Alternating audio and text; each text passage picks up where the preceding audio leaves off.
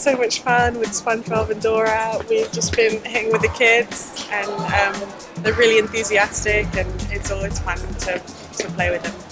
I think it's good. It gives everybody the opportunity to um, play tennis, have some fun, and yeah, people that don't usually have the opportunity to play get the chance.